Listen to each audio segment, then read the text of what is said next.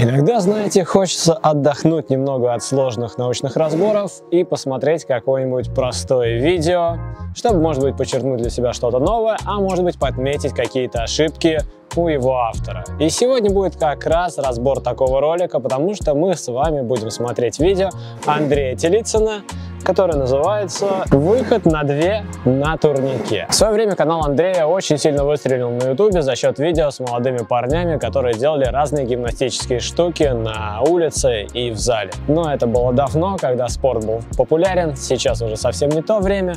Тем не менее, я уверен, что многие из вас видели его работы, поэтому, собственно, и решил разобрать один из его роликов. Давайте посмотрим, какие советы он дает тем, кто хочет научиться делать выход силой на турнике. Всем привет, меня зовут Андрей Телицын, я тренер по спортивной гимнастике. В этом видео я разберу такой элемент, как выход силой на две на турнике. А в комментариях под моими видео достаточно часто меня просили сделать такое видео, но я его не снимал. Во-первых, потому что на YouTube достаточно много материала методического, ну, как научиться этот элементу. А второе, дело в том, что гимнасты вовсе не тренируют этот элемент. Они его, конечно же, могут сделать, но они его никогда специально не учат и не тренируют его а, в своих тренировках. Это связано с тем, что перекладина в гимнастике это исключительно динамический и технический снаряд. На перекладине нет силовых элементов в гимнастике. Более того, применение силы в исполнении элементов на перекладине считается ошибкой. А свою силу гимнасты демонстрируют на кольцах, и именно там они делают выходы силой.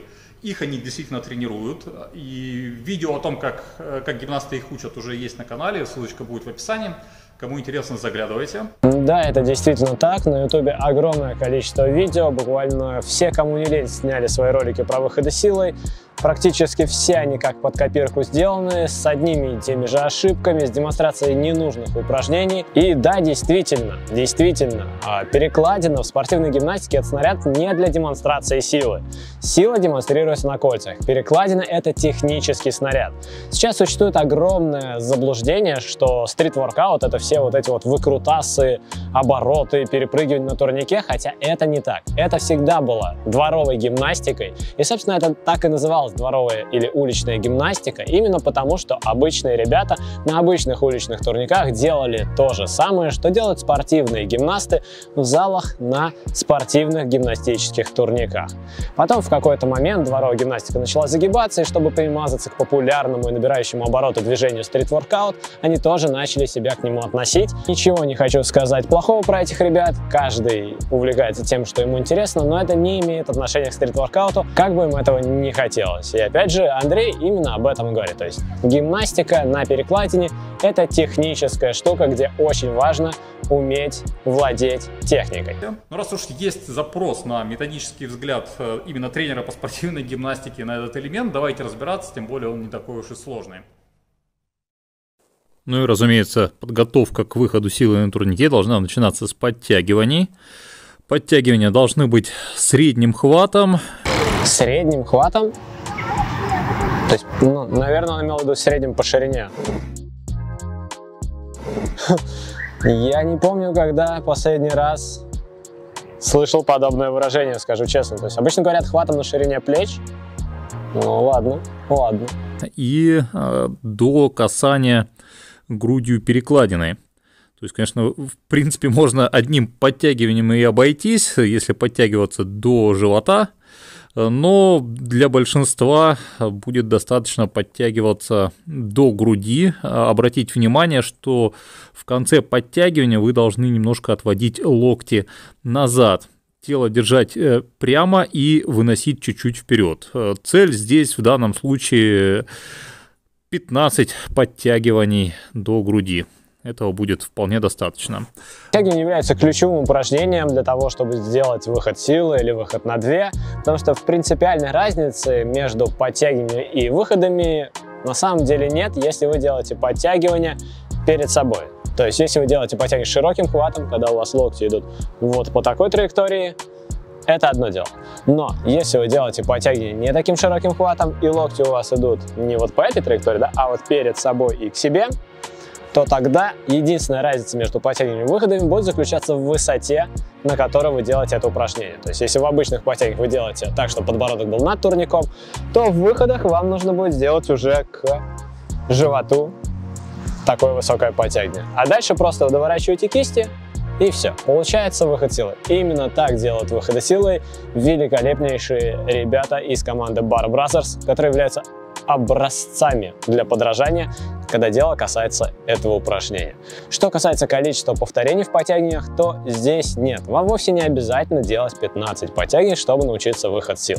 Потому что вам не нужно количество, вам нужно работать непосредственно на взрывную силу, вам нужно работать на количество миофибрил. Это значит небольшое количество повторений с максимальным взрывом и максимальной амплитудой. Вам нужно работать над тем, чтобы каждое ваше подтягивание было все выше и выше. Вы подтягиваетесь до подбородка, вы подтягиваетесь до верха груди, до низа груди, до живота.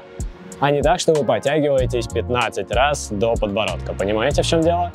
Надеюсь, что да. И если нет, обязательно посмотрите отдельный ролик про митохондрии и миофибрилы у нас на канале. Там я все подробно рассказываю. Следующее упражнение – это отжимания на брусьях. Также стараемся делать максимально полную амплитуду, опускаться настолько, насколько это хватает вам а, гибкость ваших плечей. А, тело держим прямо и добиваемся 20 раз за один подход. Отжимания на брусьях это абсолютно бесполезное упражнение для тех, кто хочет научиться делать выход силой. Сейчас найду какую-нибудь перекладину вам и объясню почему. Просто потому что в отличие от выходов на кольцах, где действительно нужно уметь делать отжимания, на перекладине у вас уже есть возможность, если вы сделали достаточно высокое подтягивание, давайте я вот поставлю вот, вот на этом турничке я буду показывать сейчас. Если вы сделали высокое подтягивание, то есть Давайте так, чем отличаются выходы силы на кольцах от выхода силы на турнике? У вас есть перекладина, мимо которой вы не пройдете. На кольцах вы можете действительно вкрутить кисти, сделать выход и оказаться вот-вот в таком вот положении. При этом, если вы не сможете себя выжить, то вы просто упадете вниз, да, провалитесь. Именно для этой цели при обучении выходом силы на кольцах и учат делать вот это вот отжимание. Но мы сейчас говорим не про кольца с вами, ребятки. Мы говорим про... Мы говорим про перекладину. Вот она, вот, перекладина. На перекладине нет, в принципе, такого момента, что вы можете провалиться. Если вы сделали достаточно высокое подтягивание и закинули свою тушку на турник, то дальше вам нужно просто отжать. Вы можете полежать сколько угодно на перекладине и отжать себя от нее. А это настолько просто, что если вы можете сделать хотя бы одно отжимание от пола полноценно, а я уверен, что раз вы начали учить выхода силы, вы сможете его сделать, вы сможете это сделать. Смотрите. Все. Я уже зафиксирован, я уже вешу, я уже никуда не денусь, в отличие от, бру... от брусьев, в отличие от колец, я могу провалиться вниз, и затем я дожимаю. Все. Оп. Кстати, я заметил, что здесь есть кольца, видите? Они, конечно, детские, они, конечно, ужасные, но для того, что я хочу вам показать, они подойдут. Если я сейчас сделаю выход и выйду в упор, когда у меня будут руки в флажке, вот смотрите, вот здесь я внизу, и если я не смогу себя выжить отсюда, да, я очень низко нахожусь, то я просто провалюсь вниз. Именно поэтому на кольцах, когда учат выход силы, там действительно нужно научиться выжимать себя, выжимать. Но на турнике механика движения, она другая. Поэтому если вы видите обучалку по выходам силы или выходам на две на турнике, и кто-то вам говорит, что нужно отжиматься на брусьях, отжиматься от перекладины для того, чтобы сделать выход, вы должны понимать, что этот человек не разбирается в том, что он вам рассказывает. Он просто за кем-то повторяет, где-то что-то когда-то подсмотрел, голову свою не включил, просто повторяет то, что ему было сказано, и все. Он не разбирается в этом вопросе. Андрей Телицын в данном случае, я думаю, что просто копирует обучалку свою для колец и переносит ее на турник. А это не работает таким образом. На кольцах брусья нужны, на турнике брусья не нужны, это пустая трата времени. Если вы действительно хотите делать какое-то упражнение на жимового характера, то лучше всего делать трицепсовые разгибания, потому что в моменте когда вот вы делаете высокое-высокое подтягивание, когда у вас руки уже пришли, то здесь есть также момент разгибания руки в локте, за который отвечают ваши трицепсы. То есть, да, вот, понимаете, как происходит. То есть для того, чтобы дальше турник опускать перед собой вниз, вы не только его тянете вниз, но вы также в какой-то момент начинаете на него давить. И вот для этого момента вам и потребуется трицепсовое разгибание, которое я, кстати, демонстрировал в своей зверской программе по обучению выходом силы. Вот такой вот есть момент, важный. Я думаю, я отдельно еще сделаю видео. Я не видел ни одной обучалки, где не было бы отжиманий на брусьях в качестве подводящего упражнения для выхода силы на турнике, хотя оно абсолютно здесь не нужно, не требуется. После того, как вы освоили 20 отжиманий и 15 подтягиваний, делаем отжимания с упора. Это поможет э, понять, как именно нужно проходить, э, переходить от подтягиваний к отжиманиям э, в выходе силой и э, развить соответствующие мышцы. Здесь тоже как минимум 15 э, таких повторений нужно делать. Да, но опять же он делает это на брусьях, потому что переносит из обучалки с колец. Если вы интересуетесь именно выходом на турнике, то, соответственно, можно делать аналогичные упражнения не на брусьях, а на турнике. Просто найти низкую перекладину, да, и с прыжка на нее запрыгивать, тренировать именно вот момент перехода для того, чтобы понять, что будет происходить с телом, когда вы переходите. Вот, находим турник, на который можно запрыгивать, используя свои ноги. И просто отрабатываем переходы вот эти вот. Оп.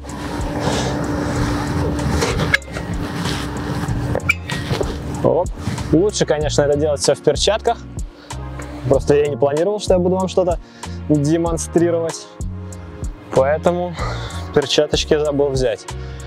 Но, тем не менее. В принципе, можно и на брусьях тоже делать, оно будет несколько более силовое и в чем-то даже более удобное, потому что у вас ограничение в середине движения, да, нет такого, что у вас руки провалятся в самый низ. То есть вы будете отрабатывать верхнюю половину перехода, что, в принципе, да, в принципе, тоже имеет место быть. Неплохое упражнение, можно его добавить в свои тренировки. А дальше мы уже подготовившись э, к, в силовой части к выходу силой, мы изучаем технику. И в данном случае предлагаю вам поработать над такой связкой. Подъем переворотом, но это не, не самое важное э, в этом упражнении.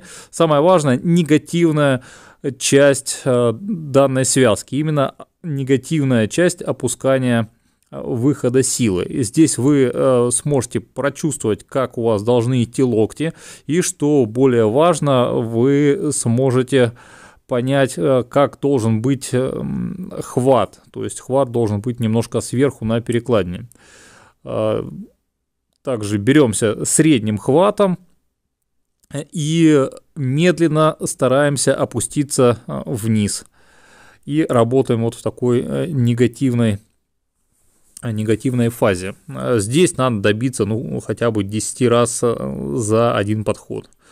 Что касается подъем переворотом, э, я думаю, что раз уж вы решили изучить выход на две, то подъем переворотом вы уже умеете. Я уже много раз говорил, что негативно отношусь к идее выполнения негативных повторений при изучении выходом силы, потому что нагрузка очень велика, особенно для новичков. В моменте, когда вот вы будете опускать свои локти опускаете, опускаете, опускаете, у вас в какой-то момент будет срываться, потому что вашей сил будет не хватать дальше для удержания тела в заданном положении, вы просто будете срываться вниз и дергать свой локтевой сустав, дергать свой плечевой сустав, что может быть очень неприятно. У Андрея этого нет, потому что его запас силы гораздо выше, чем требуется для выполнения этого упражнения. Но если мы попросим новичка, который еще не умеет сделать выход, сделать вот такое вот негативное повторение, вы поймете, о чем я говорю. Что касается хвата, то вовсе не обязательно, чтобы он был сверху. Более того, более того, настоящий полноценный выход силы выполняется именно когда ваше запястье находится под турником. Собственно, выход силы с точки зрения техники заключается именно в том, чтобы провернуть запястье, сделать так, чтобы оно из положения под турником оказалось в положении над турником, в положении упора. Этот момент очень часто многие фитнес-балаболы на ютубе опускают, и часто, особенно когда записывают ролики из серии «Медленный выход силы», хотя делают его с предварительно закрученными и выставленными запястьями очень высоко, тем самым убирая самую сложную составляющую настоящего медленного выхода силы. Потому что когда ваши запястья уже наверху, ничего сложного нет. А вот когда они внизу, и по мере подтягивания нужно проворачивать их и поднимать, вот это вот действительно тяжело. И только очень немногие могут выполнить такой настоящий медленный выход силы. Я, кстати, в их числе на канале есть ролик, где я с трудом, но смог это сделать.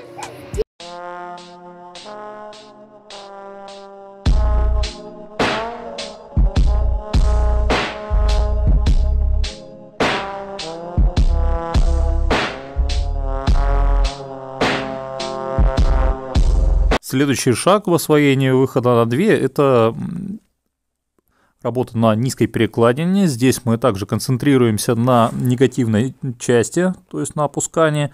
Также сохраняем, обратить внимание, хват сверху, но в данном случае еще добавляется а, работа в позитивной части движения, то есть вот с небольшого прыжка вы уже можете а, разобраться, как давить руками, и выходить в упор. Андрей предлагает обратить внимание на хват, и я также рекомендую вам обратить внимание на то, каким хватом никогда не нужно делать выходы.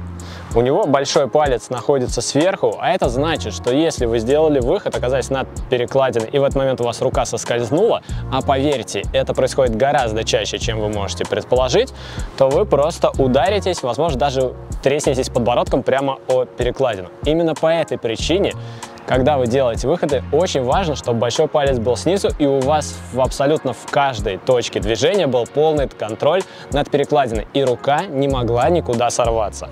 Конечно, он делает, насколько я понимаю, на гимнастическом брусе, на гимнастической какой-то перекладине, она толстая. Это явно не 28 стандартные олимпийские миллиметров, да, и даже не уличные 32, здесь, наверное, миллиметров 40, и поэтому у него есть куда положить большие пальцы, но на уличной перекладине, даже если это толстая перекладина, перекладина, я не советую вам никогда делать подобным образом. Всегда большой палец снизу, да, это тяжелее, но это вопрос вашей безопасности. Поверьте, стоит вам один разочек в дождь подвернуть руку, да, чтобы рука сорвалась, удариться, получить травму, и вы поймете, что надо было слушать Антона. То есть э, обратите внимание, что прыгаете вы ровно настолько, э, настолько, э, чтобы вам выйти, сколько вам хватает сил. И также работаете трицепсами, давите на перекладину и отрабатываете завершающую часть выхода на 2. Что касается самого упражнения, то да, я также приводила в пример отличный вариант работы на низкой перекладине для того, чтобы понять, как работают ваши локти, как происходит процесс проворачивания кисти, научиться да, его отработать. Особого акцента на негативной бы составляющей я не делал, я бы не стремился максимально замедлить да, этот вопрос. Именно поэтому важно подобрать э, перекладину такой высоты, чтобы вы могли спокойно опускаться вниз на ноги. Тоже здесь э, желательно между повторениями долго не отдыхать. В конце э, опуститься и задержать угол. Э, ну и в одном подходе за раз тоже стремитесь к 10 повторениям. Совет удерживать угол в конце является разве что полезным с точки зрения развития общей физической подготовки. Никакой принципиальной пользы именно для выхода в силы он не несет. Что касается количества повторений, то в отличие от э, тренировки взрывных упражнений, где вам действительно нужна взрывная сила, максимальный рывок, максимально высоко подтягиваться, и, соответственно, количество повторений будет очень небольшим, здесь вы работаете на технику, а когда вы работаете на технику, всегда количество повторений в подходах будет значительно больше. Поэтому в данном случае количество повторений вполне оправдано оправдано. Решающее подготовительное или подводящее упражнение э, в данной прогрессии – это выходы непосредственно, но уже с помощью таких резиновых петель. Конечно, можете использовать какую-то другую резину, но вот э, такая очень удобна для отработки этого упражнения. В принципе, продается практически в любом спортивном магазине. Ну и раз Андрей Телицын сам об этом сказал, то нельзя не упомянуть нашего спонсора, магазин workoutshop.ru, где вы как раз и можете приобрести именно такие резиновые петли для тренировки выходов силой. Это действительно отличный инвентарь для того, чтобы как научиться делать выходы силы, так в дальнейшем и работать над увеличением их количества. Это инвентарь, которым пользуются не только начинающие, но также и такие мастера турникового дела, как, например, Максим Трухановец. Очень действенным в изучении является использование резиновых петель. Они действительно сильно помогают наработать технику и немного разгрузить ваши руки и спину, поэтому я настоятельно рекомендую, в том числе и опытным спортсменам. Я сам частенько их использую. Поэтому я полностью разделяю предложение Андрея. Переходите по ссылке в описании к ролику, потому что приобретая товары в нашем магазине, вы поддерживаете развитие этого канала. Встаете ногами, тело держите чуть-чуть спереди, также хват э, должен быть сверху. Если не получается сделать первое повторение, то э, также сделайте подъем переворотом и начните с негативной части. Это будет э, гораздо легче понять, во-первых, хват, во-вторых, куда должно идти тело. То есть вот таким образом тело выходит чуть-чуть вперед, носками давим на резинку и работаем над выходами на 2. То есть здесь тоже стремиться примерно с 10 э, разам за подход, но тут многое зависит от э, силы натяжения резинки. Они продаются с разным сопротивлением, выбирайте, что вам подходит. Ну, в отличие от Андрея, если вам не хватает сил для того, чтобы сделать даже первое повторение, то я бы не рекомендовал пытаться собраться на турник с помощью подъем переворотом и оттуда опускаться. Нет, просто работайте над высокими подтягиваниями. Делайте настолько высокие подтягивания, насколько у вас сейчас хватает сил с помощью резины. И постепенно, через несколько тренировок, вы сможете сделать полноценный выход и окажетесь в положении упора. И уже с этого момента вы можете работать над увеличением количества. Поработайте в этих упражнениях, у вас получится окончательный вариант. Всем спасибо за просмотр, всем пока!